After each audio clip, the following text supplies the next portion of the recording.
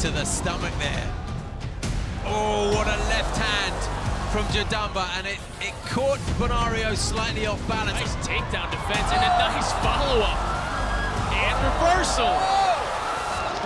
That's crazy stuff. That's sick. Oh, a nice overhand right by Jadambaa. Body shots to follow up. And he's really laying it into him now. Knees coming as well. Jadambaa smells blood. Is that we're back. Oh, oh nice. Oh,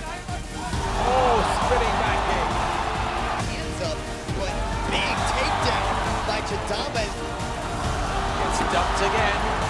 Looked like a tap to me with the fingers, and he's out. Yeah. Oh my goodness, what a right hand from Jadambaa. Kelly's not winning any bonuses tonight. That one just came out of the blue.